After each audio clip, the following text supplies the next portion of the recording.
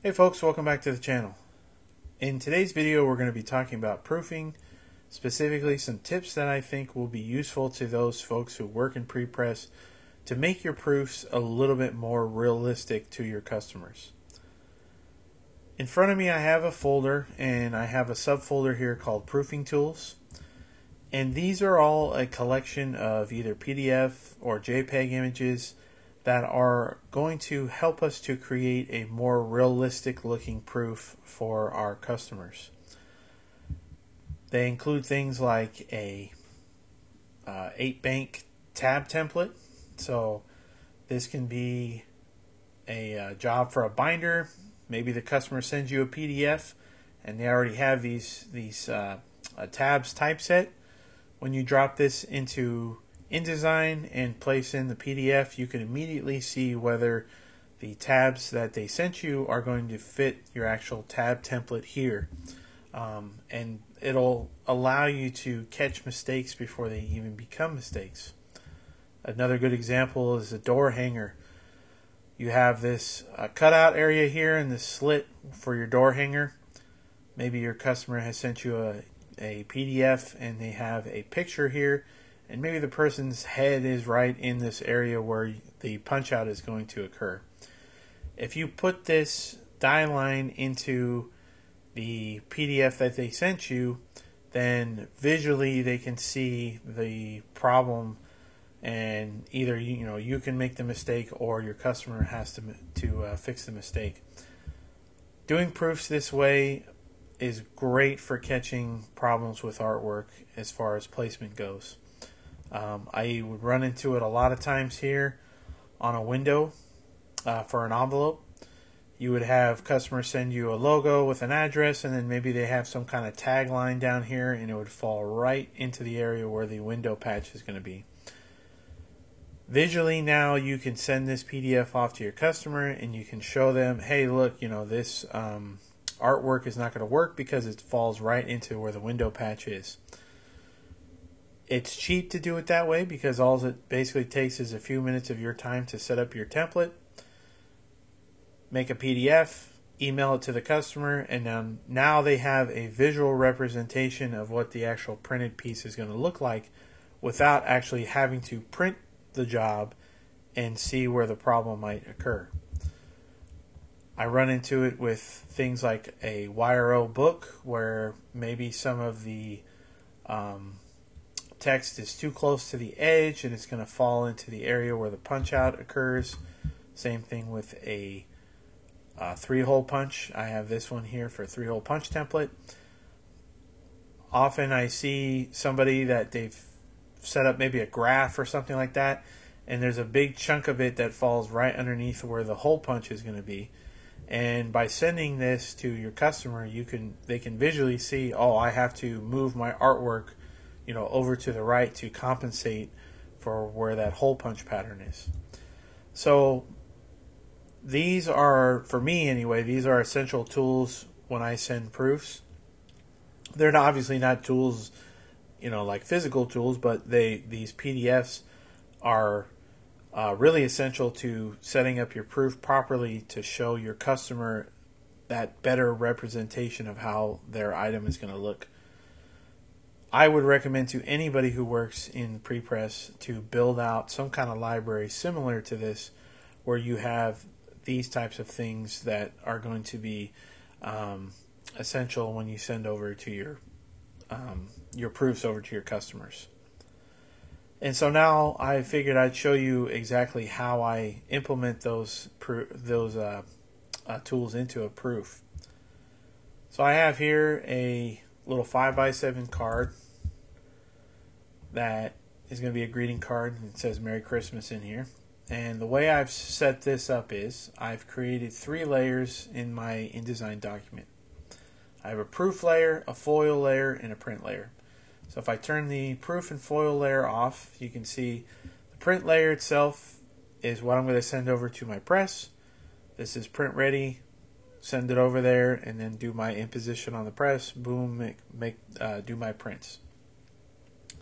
I then have a layer for the actual foil So let's say this is something that you're going to send out to a third party to be foil stamped, or maybe we're we are going to use this on a, uh, a foiling machine of some kind, and the foiling machine just needs the foil pattern itself.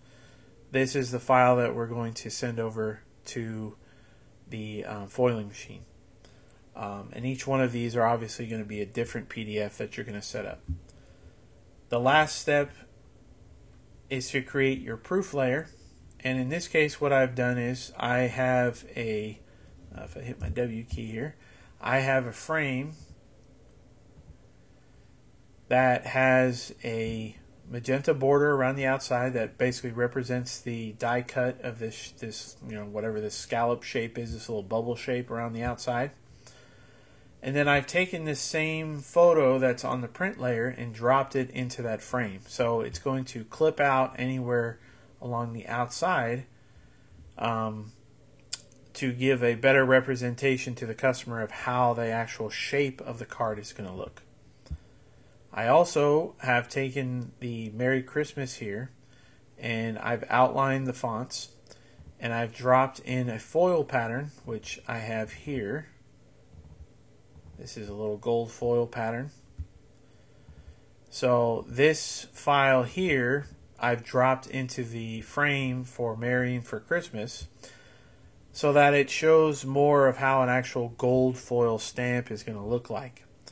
I could have left it just with this foil layer like this by itself. Um, however, I feel that doing it this way gives the customer a better look as to how the actual printed card is is going to visually look. Um, it's only a simple, it's you know a small simple step there, but in my opinion that creates a better proof for them, and it also allows something like um, let's say they look at it and they say you know what I don't really like that gold I want maybe a silver or something like that. So you can go in here and I can change this. I have my direct selection tool and, and I've deleted the gold foil pattern and now if I come in here and I go up to uh, place I'm going to put in let's say a red foil pattern instead and so now I can send this to the customer and say hey what do you think about a red foil instead? And maybe they're like well you know let's stick with the gold foil or let's make it silver or whatever the case is. This gives them just a better representation of how the actual card is going to look. And in my opinion, that's uh, important to the customer. It also is che- uh, cheaper because you don't have to go through the whole process of doing an actual printed copy, foiling the thing, and then die cutting the whole thing, and then showing it to customer, and they look at it and go, eh, I don't really like how it looks. This way, you just send a soft PDF proof, and a lot of the mistakes, a lot of the uh, issues that are going to crop up are going to be taken care of in the proofing process without actually making an actual print. So that's uh, one way for a, a, greeting card there.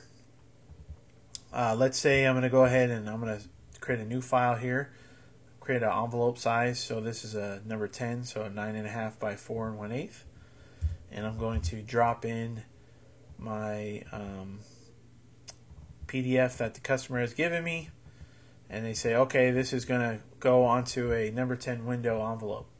So I could send them this, and they could look at it and go, ah, everything looks fine, right? But if I drop in my template here for my window measurement and center this up, obviously you can see there's going to be some issues because the artwork is going to fall right into the area where the window patch is. So now I can send this to my customer and say, hey, look, you know, obviously you're going to have to make some modifications to your artwork, or we can make some modifications to your artwork to make it fit better, whether it's just, you know, uh, moving up everything in the PDF or maybe uh, reshaping this background to only show up here on the right hand side, whatever the case is. But through the soft PDF proofing uh, step, you catch any of those mistakes before you actually send it off to press. So I know some of this, uh, some of these concepts seem fairly uh, simple, but you'd be surprised how many times a even a prepress um, operator doesn't catch things like that. And then it becomes a process when it's actually been printed, been sent out to uh, the finishing department, it's already been cut, and maybe now it's getting die cut, and then all, all of a sudden the person doing the die cutting looks at the job and says, hey, like this person's head is going to get cut off in the die, um, you know, the, the way the die is set up, and nobody even caught this. Uh, and by then it's obviously too late. You've already gone through the whole process. Um, I have one here for a table tent. This gives a, a, good representation of where the fold lines are going to be, and I have a layer here just called fold marks. So this artwork layer is what I'm going to send off to the uh, to the press to actually get printed. But if I check and uncheck these fold marks, you'll see that those magenta lines there disappear. And when I send the proof to the customer, they can see exactly where the fold is going to occur. Something like this, a lot of times you'll have customers who just request that they get scored, they don't actually get folded. So this will show the customer exactly where those score marks are going to be. I also have this little remove um, adhesive strip over here. This is going to be a table tent, so these are going to fold up, and then this um, little tab here is going to tuck underneath the um, panel over here, and then that's going to create your table tent for the um, to sit on the on the table at the restaurant. So by doing those things, uh, the customer can also see where the tape is going to be applied. Maybe for whatever reason there was a misinterpretation and this tape should actually be on this side and these items should be pushed over to the right. All of those little problems can be alleviated in the proofing process if you set up your proof properly this way. A lot of times I just see a proof that's sent out that looks just like this and say and somebody says, you know, here's the proof, and they go, somebody will look at it and go, oh yeah, it looks fine. In reality, maybe those fold marks are actually going to fall right here, right through the middle where this burger menu text is. Unfortunately, the customer's already committed at that point. They've approved the job you've passed off this job to your printing department. It's been printed, it gets over to the finishing department, and then they go, uh, hey, there's a problem. The fold is going to be in a totally wrong spot.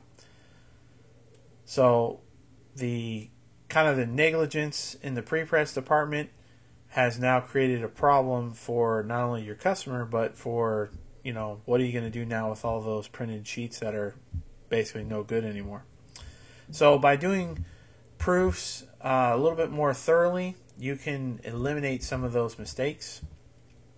I have one here for a little tag as well. This shows some rounded corners. It has a little hole punch at the top, and I've set this up in the same way here, where I have the hole punch pattern here at the top.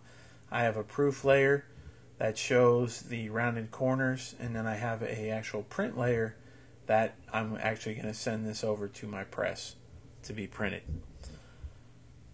Doing it this way allows you to use the same file for both proofing and for printing, but it also allows that visually more accurate look to the actual proof that you're going to send to your customer.